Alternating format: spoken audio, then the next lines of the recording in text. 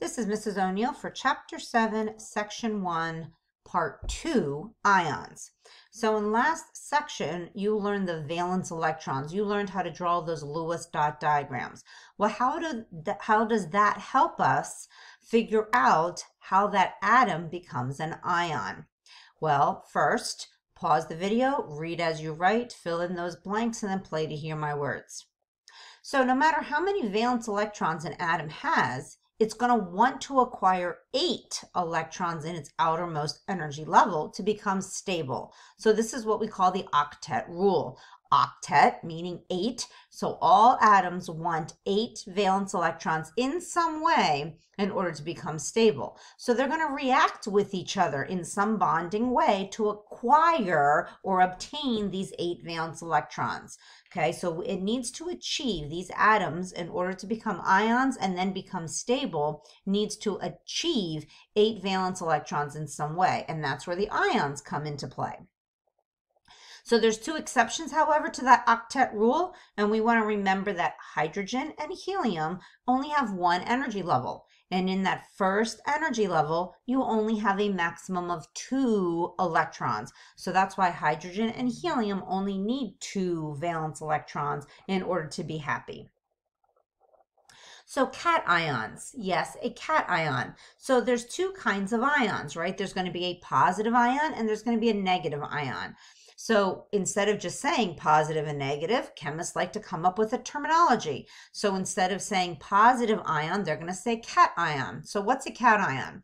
A cation is going to come from a metal element that's going to lose electrons. So it's going to be positively charged. So now you're wondering, why do I have a cat down here? Well, if you like cats, cats are positive in your life. If you don't like cats, I got a couple other um, ideas for you to remember how a cation is a positive charged ion. I want to also tell you, and it's going to be really important, is that cations are going to have the same name as the element it comes from. And uh, we'll do some examples and hopefully you'll understand this. So what's another way to remember a cation is positive? Well, a cation has a T in it, and that T looks like a plus sign, so that plus sign is positive. So that's two ways of remembering um, cations are the positive ions, again, coming from metals because they are losing electrons.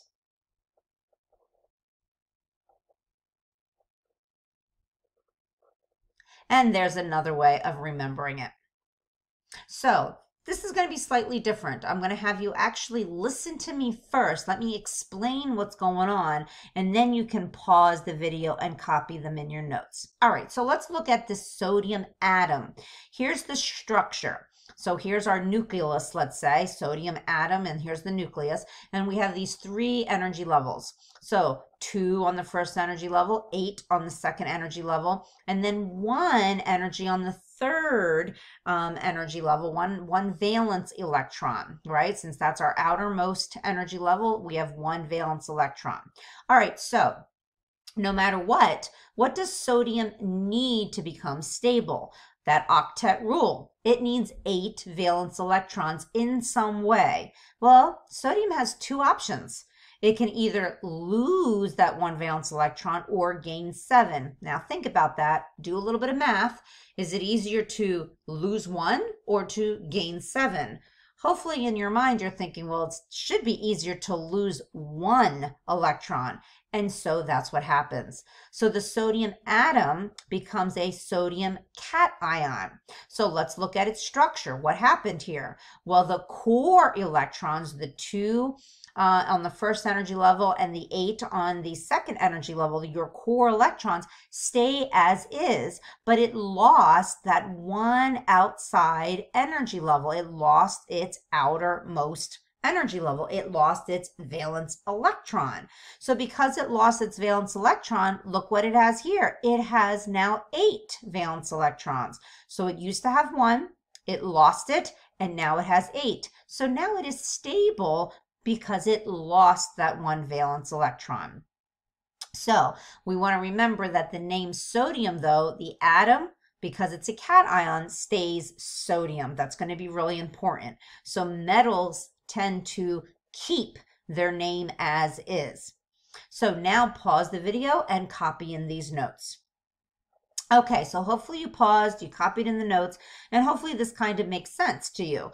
Uh, and if it doesn't, again, you can always rewind and kind of listen to me say it again. So I also have you in your notes drawing the atom versus the ion. So a couple things to think about. Look at this atom has three energy levels and it loses that last electron, that one valence electron, and now it only has two energy levels. So that's something to maybe take note of or make sure that you're understanding that the sodium atom is going to be different than the sodium ion it forms when it becomes stable. So let's look at the fact that it's plus one because cations can be plus one, plus two, plus three. It can be different charges, but for sodium, it's always going to be plus one. Well, where does that plus one come from? So let's look at that ion. First thing to notice is that it has 11 protons. So it's going to have 11 positive protons. That's never going to change. But when the atom became an ion, we can add those 10 negative electrons. Hmm, so now this ion has 11 positive protons and it has 10 negative electrons. So if we do the math, that should equal that plus one charge. So this you don't have to actually know. You're not going to have to do this math because I'm going to show you a pattern on the periodic table. That's why the periodic table is so important and it gives us lots of patterns. And again, the fact that it has more protons than electrons gives us that positive charge. How many more protons does it have? One. That's where the one comes from. So if we look at it as a reaction, we have the sodium atom. It loses electrons, and losing electrons is called that ionization energy. You've heard that term before. And so what happens is you have that sodium ion and an electron kind of off and away, right? It's going to be going somewhere else. so pause, read, and see if you can answer this question. Hopefully you came up with eight, right? Now that it's an ion, it now has eight valence electrons. So this is another example of magnesium now losing two electrons. So notice the equation or the reaction here looks very similar, but now it has a plus two charge. So let's look at why does it have a plus two charge? We're going from the magnesium atom to the magnesium ion. So again, we're going to go back to those protons and electrons. So it has 12 positive protons. It lost two electrons, so it has now 10 negative electrons. Now just do the math. 12 positives plus 10 negatives is going to give us that plus 2. We have two more protons than electrons in our ion. Again, awesome math. And if you're mathematical, that should make sense to you. But if it doesn't, I'm going to show you a pattern. This is just some information on magnesium. And there's that pattern I was telling you about. Look, all of the elements in group one, the alkali metals, they all have one valence electron. And guess what? Now they're all going to have a plus one charge. Group 2 has two valence electrons. In order for them to become a stable cation, they're all going to lose those two valence electrons and now have a plus 2 charge. So an anion is the opposite way. It's going to gain electrons. Those elements are nonmetals. Nonmetals tend to gain electrons, and now they're going to become negatively charged, called an anion. Why do I have an onion? Because onion and uh, anion kind of sound similar. Now, this is going to be the tricky part. The ending, though, is going to change. Those atoms, when they become anions, actually change their ending to an IDE ending. And again, we'll do some practice.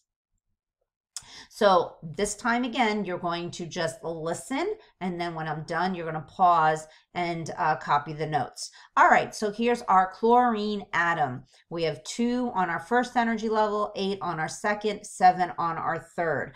All right, same question here, right? What does chlorine need to be stable? Just like every other element, it needs that octet rule. So it needs eight valence electrons. How is it going to do that? Well, again, which way is easier? Losing seven or gaining one? Again, think mathematically. Is it easier to lose seven things or just to gain one thing? Well, hopefully in your mind, you're saying, well, it's probably easier to gain one. And it absolutely is. So that chlorine atom now becomes a chloride, an anion, a negative anion. So let's look at that structure. The 2 and the 8, again, those core electrons stay the same, but now instead of 7, because it gained one, now it has those 8 valence electrons. And that changes though the name. So chlorine now changes to chloride. Very important. So pause the video and copy down these notes. So again, I'm going to ask you to draw that atom versus the ion. And again, take note, we have one, two, three. So this is the nucleus and one, two, three energy levels. The ion has three energy levels, but this is what you want to take notice of. There's seven electrons here, but eight electrons there. That's going to be the, uh, the difference.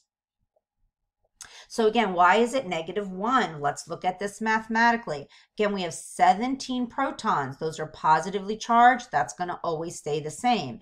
But what happened to chlorine? How many electrons does it have now as an ion? Well, it gained one. So it has 18 electrons. So 17 positive protons plus 18 negative electrons is going to give us a total of negative 1. So in this case, we actually have one more electron than proton, and that's where that negative one comes from. And guess what? You're not going to have to do the mathematics. You're going to see a pattern.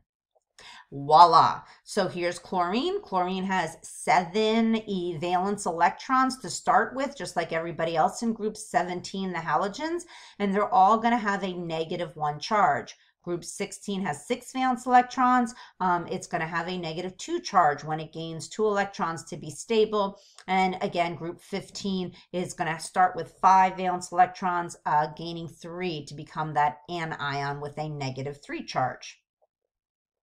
So this should look very similar to what you've seen before, but now it's the opposite. Now we have the atom and the electron here is on the left. So that chlorine gained an gained an electron. This is actually called electron affinity. So you might hear that uh, later on as well. But electron affinity is the affinity, the the the um, uh, the wanting of those electrons. Um, and notice now again that the chlorine changes to chloride. So repeat after me because when these atoms become anions, this is what you should be familiar with as far as the endings. How do those endings change? So here we go. Fluorine changed to fluoride, chloride, bromide, iodide.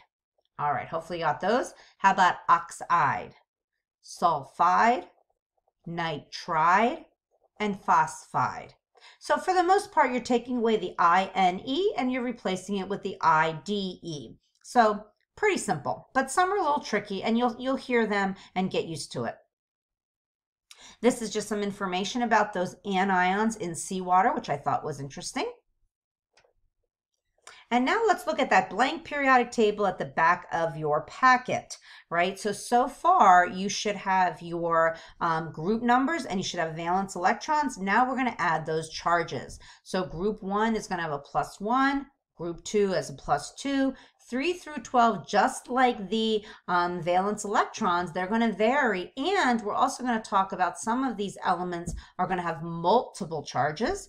Group 13 is going to be plus 3. Now, group 14 is a little tricky. Group 14, since it's right in the middle of 8, some of those elements are going to actually um, give up 4 electrons, and some are going to gain 4 electrons. So that can kind of go either way. depends on the situation. Group 15, negative 3. 16 negative 2, 17 negative 1, and of course group 18 does not have a charge because they're already happy. And I want to remind you that helium is happy with two electrons, just like hydrogen only needs two as well uh, charge always has a positive, negative, and a number associated with it. However, sometimes you see it the other way. Sometimes you'll see the number and then the positive or negative sign. It really doesn't matter as long as you have the positive, negative, and a value, a number associated with it. So this is what your periodic table should look like in the back. And you might want to add here, metals stay the same name and non-metals change to IDE just as a reference. All right, we will see you in class.